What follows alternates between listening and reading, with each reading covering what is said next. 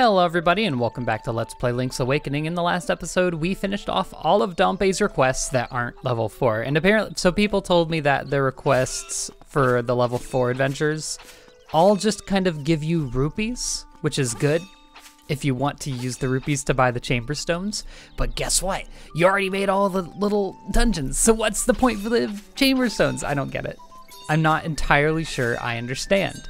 But hey, that's what it is, so it is what it is. In this episode, we're going to be doing the figurine thing. Side quest, I guess you would call it. And we have the Goomba figure, which I believe is the second one. And I so I did a little tour around the town before I started recording to try and figure out where most of these where most of these stands go. And it turns out that there there's not nearly as many as I thought there was. I thought there was like 20, but I could only find like 8 or 9 so this is going to be a bit easier than I thought.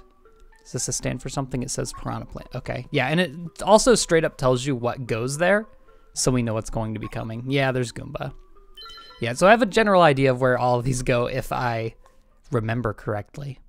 But there's also only like four houses that have all the stands in them, so it's not even that you have to explore every single house. It's just in Maybe Village, Mabe Village, who cares, and only in four of the houses. Now, luckily, I'll have enough money for the crane game. So I think I was thinking that this episode could work as a bit of a summary, kind of reviewish type episode, so I could talk about my thoughts on wow, good stuff. Oh no! Oh, he wiggling. I feel like it's going to be easier to pick up like that, though, right? Who's to say? Um, yeah, so my thoughts on Link's Awakening. Obviously, it's good. Like, I'm not going to sit here and be like, oh, bad game. Played through all the way and I enjoyed it, though. It's a very good game. And I'm surprised that it honestly took them this long to remake it because I mean, when you look at Link's Link to the Past, which was made before this, before Link's Awakening, right? I'm pretty sure it is. But you look at that, and that was essentially remade a long time ago. And in fact, they also redid the style of it quite a few times with like Four Swords Adventures and all that. But Link's Awakening, I guess you could call it the style of Link to the Past, but it's kind of, it's different. And I don't know how to explain that difference really. What do we just get? Got a spiny. Okay. Um, I don't really know how to exactly explain that difference, but the vibe is off. It's not just... I don't know. I just, again, I just don't know how to explain it. But like, we got a Link Between Worlds, and that was essentially a remake of Link to the Past. This is an older game, and it's just now getting remade. I don't know why I talked to the person. Uh, this one. Boo. There's so many. Spiny, there it is. Sure enough. Yeah, I can remember the houses they're in easily enough, but when it comes to the individual figurine stands, it's a bit much. Uh, anyway, yeah. Took over 20 years, I'm pretty sure, for them to remake it. And now I'm just wondering when they're going to remake Oracle of Ages and Seasons, because I did play Seas. Oh, it's on the movement belt. Uh, I did play Seasons, didn't play Ages because I was worried about, you know, how similar they would be. And so I just didn't bother. I know that there's like unique content if you play both of them. Oh, wait, no. I tried to aim it where it would be stopping. I guess it would be easier to do that on the right end of it, not the left end. But yeah, I'm really excited to see what they do with the 2D Zelda series because I think this is one of the highlights. I still like Link Between Worlds more, if only because it's a bit more difficult. Like, since this was a straight up remake, it's kind of very simple compared to some of the other uh, remake style games they've had, like A Link Between Worlds. And as a result, I just think it was a little bit all over too easy. I only died once. And that's going to haunt me for the rest of my years. But it was in the very first dungeon wherein you have three hearts. And, you know, it's usually, if you're going for 100% run, the beginning of the game usually is the hardest part of the game. So I, that's understandable. But nothing really ever got me low. Like anytime that I was at three hearts, there were multiple fairies. I had the cream this whole time that I never used. Wow, I really have to go a lot earlier, don't I? I love the way this boo looks, by the way. I'm worried that one of these times it's going to get flung like in a weird direction because of the movement of the panel it's on. And it's just going to start rolling randomly. But the little green tips on its fingers, love that. Okay, let's go now. That might have been a bit too early.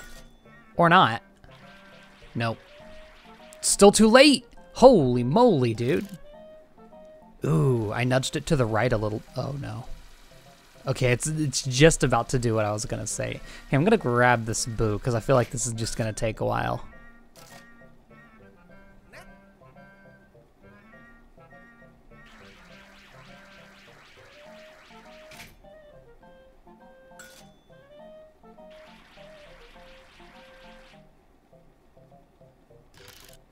Oh my goodness, I got it. Yeah, that took a hot minute. Oh my lord, now we have to hope it doesn't come out. I'm very appreciative that the figurines all seem to be big enough that they don't... No.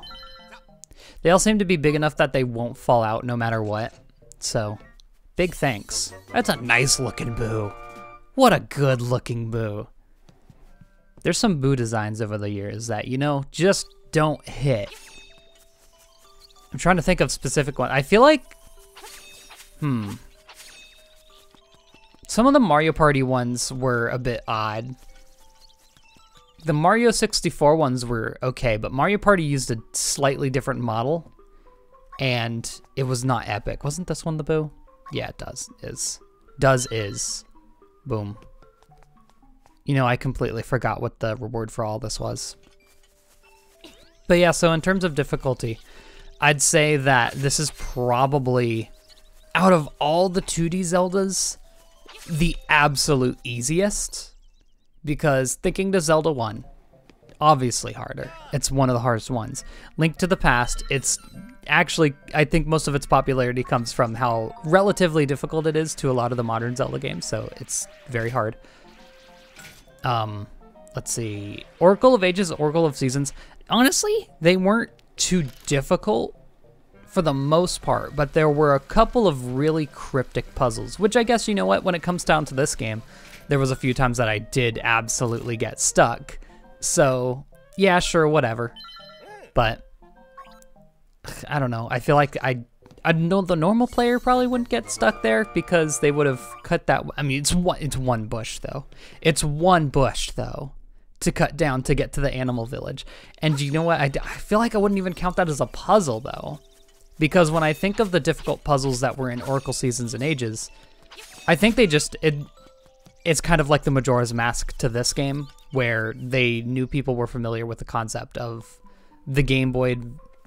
What did we even get? I wasn't paying attention. Cheap, Cheep, not here. People were familiar with the concept of Game Boy 2D Zelda, so they just made it outright harder, similar to how they did for Majora's Mask, which I guess we can debate, but I think Majora's Mask is a ton harder. Listen, Great Bay Temple compared to Water Temple, ridiculous difference. Why do y'all put chairs in front of your stands? Yay, cheap, cheep, first try. I mean, there's only two in here, but whatever. Yo, please call outside. The most useless hint person in all of existence. You know what? That's not true. He gave me like two good hints.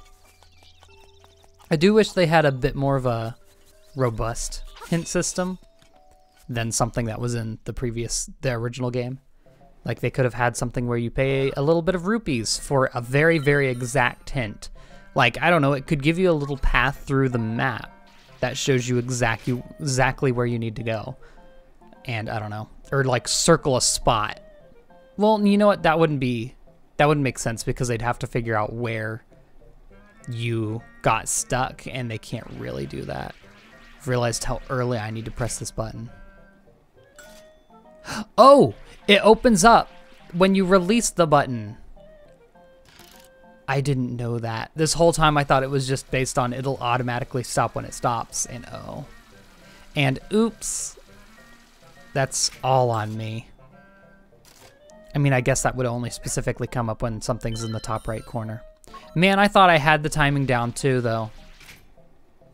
That's unfortunate. I mean, I guess I could just move over and release it when I think it's the right time. I believe it's when it's like halfway on its way back. Like there. Well, hey, they can't all be winners. Or can they? Boy, pinched it. Oh, please don't. Okay. that was not normal. They gave the blooper a green little frill as well. I wonder why that specific style. I mean, it, listen, it does look good. I'll tell you that much. But bloopers don't usually have like a little greenish blue. What would you call that? Man, I hate the names of blue tints. Bluish and green. Anywhere from that, like you say mint, and everyone gets a different color in their head. You say aquamarine, no one knows. Cyan, what's that? No one knows. Uh, blooper. Wait, no, I think uh, both of the I remembered this. The aquatic ones are in Ulrira's place. I've just been going up top instinctively because they have like four things in their house. And it makes it, you know, a good bet when there's only so many figurines in the first place. Yo, what up? I'm putting this here. You got a cactus in your house. Very interesting. Sometimes I just I just need to take time to like look around. Isn't that the Yoo-hoo granny? over here on the wall. A lot of these houses are really nicely decorated. Oh, I do want to talk about the graphical style. I will say the blur, I, I'm still not sure if it was the correct choice. You know what? I think this game could use blur, but not nearly as much as they use. It's a crazy amount. I did get used to it by the end, and luckily when you're in dungeons and all that, in like in a house like we are now, there's zero blur. They don't blur anything. So that helped a bit. So it was only when you're outside. And honestly, I think I was in dungeons or houses more often than I was in any given overworld spot. So that was nice. I didn't have to deal with the blur that much. As for the art style itself, I think it's fantastic. Absolutely wonderful you know, when I come out with all these games that have like a not very realistic style, obviously that's what Nintendo's known for.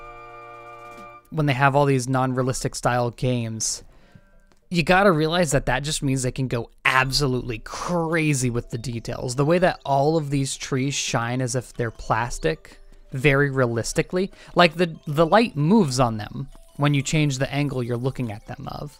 So it's not just baked into the model texture or whatever that is. It's actual lighting reflecting off of everything. Look at the lighting on that that uh, house tree. Move. It moves. The light goes up the side when you get a diff like it moves. That's very very impressive. What did we even get? Shy guy. Okay, I think this one actually is at the top. And I think that's uh, something to be celebrated when you can just make absolutely insane realistic looking objects in a toy game like this. And I really appreciate that. They kind of did the exact same thing with Animal Crossing as well. I remember there was a post where the little light strands that they have on your hair, whenever it's like, it's like there's a ring of light that's on the hair that naturally happens if you have a light source above you. But apparently that's incredibly difficult and taxing on a system to do.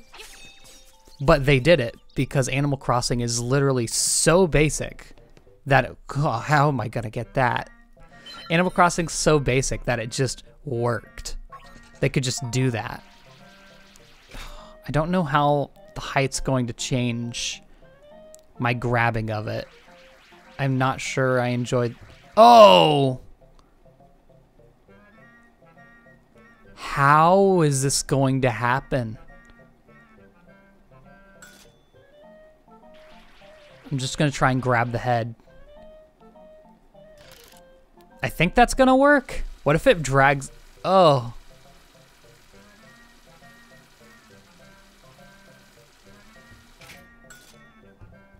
I'm glad we did the figurine thing, if only for the piranha plant alone. You know what? This whole time I've been wondering why they made the little conveyor belt so big. Like it's two, you can see it's two conveyor belts put together. I believe in the original game, it was just the size of, size of like one of those conveyor belts. It was one block wide and tall. And that alone explains why it was so big. I've never seen that. I think it's in here. Crazy. So that thing's just gonna be sitting here, huh? Stand for something that says piranha plant. Imagine seeing a little figurine of a piranha plant, except it's not little. It's bigger than you. Hey.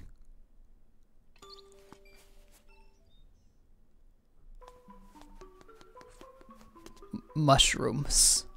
I never noticed it was a bag of mushrooms. Has that always been there? I completely missed that. I don't think we have too many to go. I think we have like... This might be the last one. No. No, I must have counted wrong. No, there's definitely more. Oh god. Oh boy, Pokey. I mean, these are literally in the game, so... Guess it makes sense. Attack it at its head.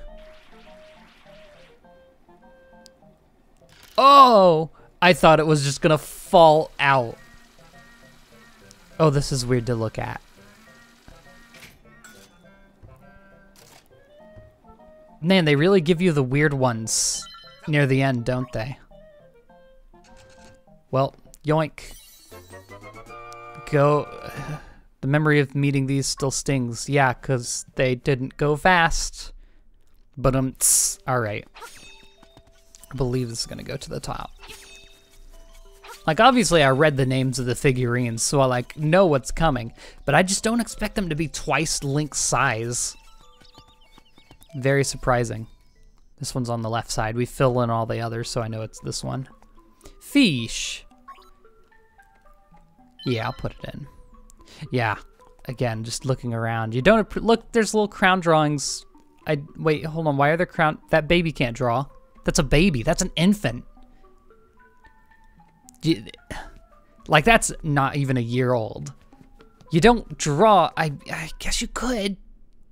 It could be finger paints, but also there were shapes on that picture. That was a specifically a face. Infants don't draw a face. Like that. That's that's a bit later. We can all agree, correct? Whatever reward we get for this, I have no idea how we get it, because it's kind of... Was that it?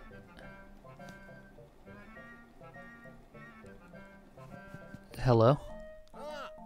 Trendy game. No. I put... Uh, this isn't good. Do I do... Hold on, someone said I do need to do some fishing to get what's ever left. Maybe I fish out one of the... One of the rewards. I know there's one left in here, isn't there? Yeah, there's one left here. Bow Wow. How do I... Bow Wow's so proud of his fine fur coat. What if I just put the real Bow Wow there? Chow Chow. Yep, yep. That's right, because we put one here. Maybe it is from the fishing game. They just wanted to make the last one special or something, perhaps? Oh, okay. Cool. I'm glad that my sword laser hit it. It is shining, so you know what? Let's do it. About some fine little some fine fishing? I don't know where I read the word fine, but it sure is there. Uh middleweight? I don't know if it really matters for my purposes since I could catch them all anyway. Okay. So do I need to catch a different type of fish or nah? Can it just be anything? Okay. That's kind of cheating, but alright. Oh, not even close. Christ. Okay, well, I didn't mean to throw it that short, but maybe we can get one of these. And they won't be jumping out. Jeez, come on, dude. Uh... He's losing a lot of... Is it because I'm... I'm not even gonna try. It's swimming so far. Is it because I'm using the middleweight lure? And I'm catching... Trying to catch big fish? Is that why? I think this Cheep Cheep on top might be considered middleweight. Okay, that's not nearly as far as I wanted to throw it. Well, that's way farther than I wanted to throw it, rather. Okay, sure. Come on, dude. Got him.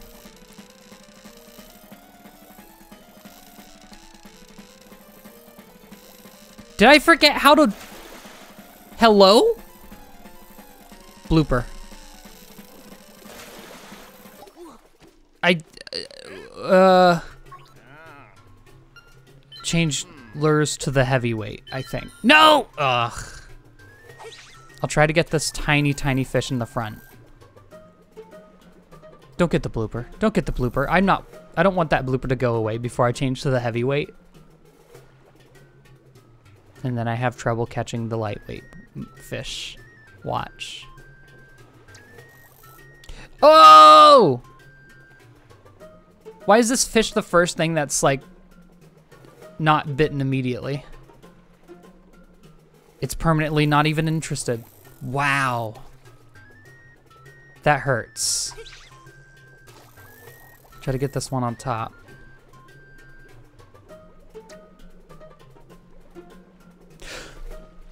Are you, are you joking?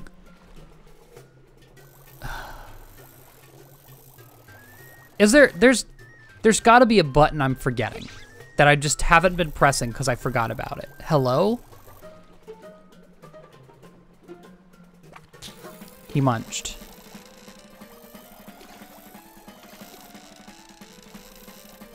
Like I'm able to catch this one just fine, I guess. Like I'm remembering the tips that I was given where it's like you can pull a little bit before and after it starts swimming away and get away with it.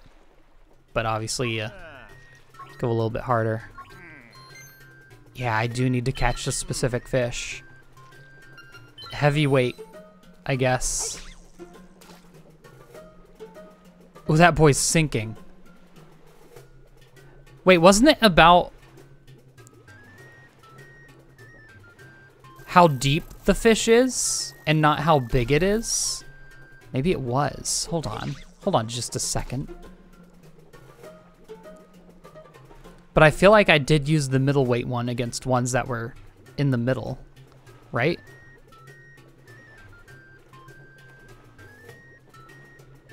It is kind of stalling in late in deep water, so maybe that is right.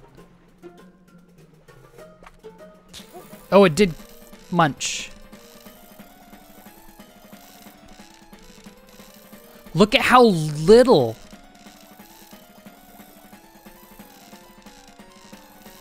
I'm making absolutely no progress.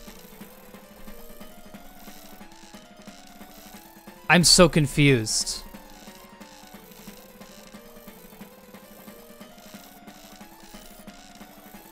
Wait, what, what was that?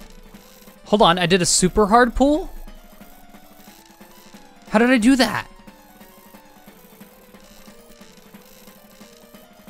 I double tap. That's never been a thing, right? Well, that changes the game. Oh, you have to keep tapping. No one told me. I Maybe people did tell me about this and I just forgot. Or am I only allowed to do it with the heavyweight lure? I don't know. Well, I did reel in a big fish, so bada boom, bada bing. Let's get that blooper.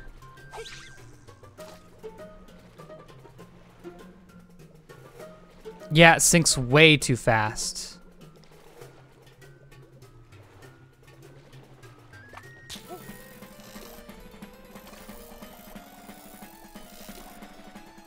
I don't know when it's technically pulling pulling. Did I ever actually catch the blooper?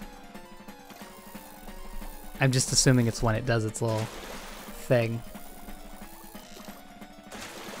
I like how it actually pops out of the water. This is another detail on how good this game looks, is just how real these water physics feel. Like how it pops out when it's, I don't know. I don't know. He is really blooping. That's a lunker. Want to keep go. Yeah? There's... No. What do you mean there's something else? Now... Oh no, it was just the reward for catching the blooper, I guess. Okay. Um, hey. How do I get the Bow Wow one? Well, you know what? I think I remember it being a case of where you had to get a certain distance into the game. Maybe we just haven't gotten far enough for Bow Wow? So I guess that'll do it. And in the next episode, I mean, you know what we're going to do.